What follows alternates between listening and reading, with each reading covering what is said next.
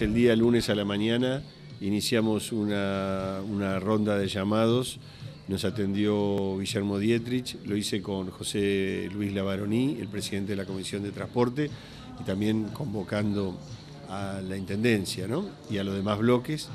Y es probable que para este fin de semana o principio de la otra tengamos una reunión con el subsecretario de Transporte Ferroviario, que es el que tiene a cargo la incorporación de lo que era Ferrobaires a a la Nación, que se llama Arturo Papacián, es el subsecretario, Eugenia Hueve, que es la directora de Relaciones Institucionales, y alguien más que seguramente se va, se va a sumar para un poco ver cómo es el futuro de lo que espera en cuanto, no solo al tren, que es un problema, sino el transporte general, ¿no? porque hay problemas con Río Paraná, hay problemas con, con el avión que no tiene frecuencia suficiente, es decir, Tandil está alejado de todos lados por vía de transporte. No hay forma de llegar a Tandil si no es en auto.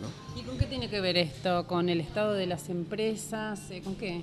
Bueno, ha habido desinversión en muchas de, las, de los rubros. En el tema ferroviario lo que me anticipó eh, Eugenia Hueve es que el gobierno se va a ocupar de mejorar e invertir en el transporte del conurbano y no de pasajeros en, en pasajero conurbano. Eso va a ser el objetivo, por lo tanto no hay inversiones previstas para el interior.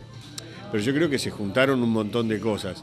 Río Paraná no tuvo subsidios en la década kirchnerista y, se desinvirtió, las tarifas fueron bajas y por lo tanto no justificaban invertir.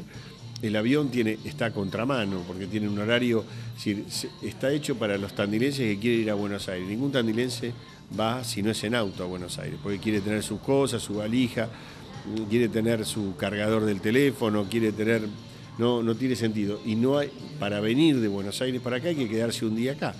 Es decir, que está, está mal diseñado eso. Y lo del tren, bueno, es un escándalo, ¿no? Primero, por, no solo porque es una tarifa muy barata, sino porque el tren tiene una mística y, un, y una... Mm, eh, eh, provoca, además, atrae mucho a la gente y es un medio de transporte muy querido y y añorado por los tandilenses. ¿no?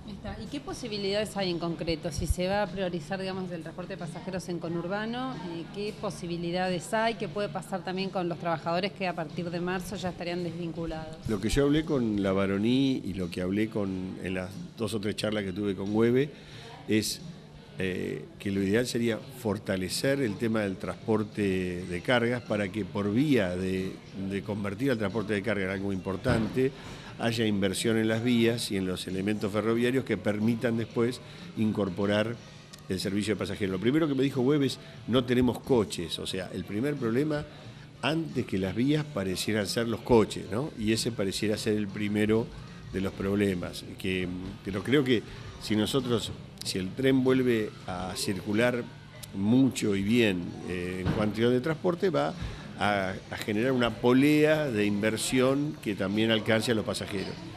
¿La reunión para cuándo estaría prevista y si hay voluntad de todas las partes?